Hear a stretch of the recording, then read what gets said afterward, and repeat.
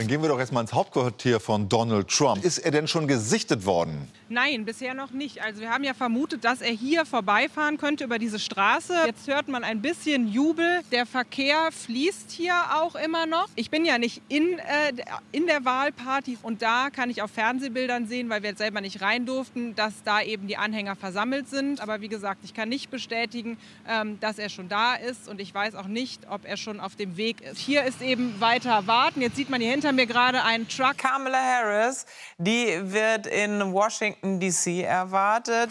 Und jetzt ist eben die Frage, wann kommt sie und kommt sie überhaupt? Er ist immer noch nicht da, aber ich kann das noch mal zeigen. Also jetzt ist da drüben die Straße gesperrt worden. Deshalb vermuten wir jetzt, dass es tatsächlich möglicherweise jederzeit sei, soweit sein könnte und er dann vielleicht ähm, aus dieser Seite angefahren kommt. Aber äh, hier hinter mir stehen Autos, da waren eben noch viel mehr Autos und deshalb äh, häufen sich jetzt die Zeichen, dass es möglicherweise soweit sein könnte. Ja, die äh, Musik läuft wieder, so wahnsinnig viel wird nicht mehr getanzt und es gehen auch schon Leute. Also alle gehen davon aus, dass sie auf jeden Fall noch auftauchen wird. Hier haben ja viele seit Stunden ausgeharrt und ich glaube, das wäre nicht ihre Art, nicht zu kommen. Sobald einer von beiden, Donald Trump oder Kamala Harris, auf die Bühne treten, ja. werden wir natürlich live das Programm unterbrechen und genau dorthin schalten. Kamala Harris wird heute hier doch nicht mehr auftreten. Natürlich hat das Studio Washington alle Korrespondentinnen und Korrespondenten an die wichtigsten Orte hier im Land geschickt. Nee, hier wird nicht gefeiert, sondern genau das Gegenteil. Hier ist die große Ernüchterung eingetreten. Ich würde fast sagen, die Demokraten hier haben fluchtartig den Raum verlassen. Also hier ist jetzt kein großer Jubel ausgebrochen, zumindest nicht hier draußen bei mir. Ich kann ja nicht in der Veranstaltung sein, in der Halle. Da hat man mir eben erzählt, dass die Stimmung gut ist, aber das kann ich eben nur aus zweiter Hand berichten, weil ich ja selber nicht drin drin bin. Ja, hier bin ich in Detroit auf einem Techno-Rave, der leert sich gerade. Ja, hier wird es auf jeden Fall eine lange Nacht. Hier wird im Moment auf Hochtouren gezählt, äh, überall in den Wahlbezirken, auch hier in der Bezirksregierung hinter mir. Ja, ich stehe ja mittlerweile relativ allein mit einer großen Anzahl an anderen Journalistinnen und Journalisten. Selbst die Musik ist jetzt ausgeschaltet worden. Wir können ja mal in die Halle schauen, wo das Rednerpult steht. Ich sehe ihn Ist gerade das nicht. JD Vance? Ich höre jemanden sprechen.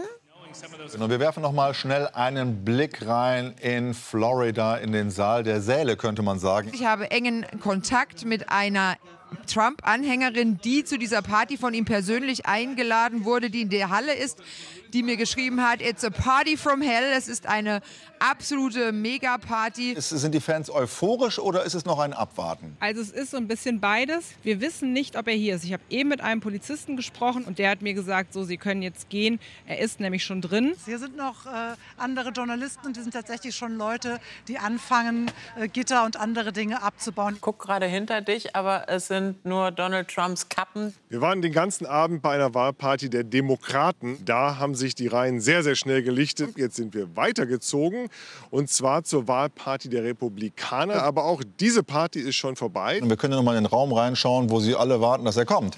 Äh, Gibt es denn überhaupt Demokraten, die bislang schon reagiert haben? Also auf jeden Fall ist hier keiner mehr. Die sind alle wahrscheinlich mittlerweile erstmal schlafen, so wie fast alle amerikanischen Journalisten auch schon abgebaut haben. Hier sind jetzt nur noch wir vom ausländischen Fernsehen. Ja, also hier ist eben ein Wolkenbruch runtergekommen. Deshalb habe ich mich jetzt hier untergestellt. Und natürlich warten alle darauf, dass Donald Trump auf die Bühne tritt. Ich bin ja nicht im Saal, deshalb ähm, kann ich nicht sehen, was dort gerade jetzt live passiert. Donald Ja. Trump ist gerade in diesem Convention Center auf die Bühne gegangen. Tatsächlich hier am Weißen Haus haben sich alle, die sich hier versammelt hatten, im Laufe der Nacht relativ schnell verzogen. Also die Party ist langsam vorbei. Hier kommen ganz, ganz viele Menschen aus dem Hotel hinter mir herausgeströmt. Und ich stehe jetzt hier mit Fatima, die eine Trump, äh, ein Trump-Fan ist, die aber nicht selber drin war. Na dann, gute Nacht, muss man fast sagen.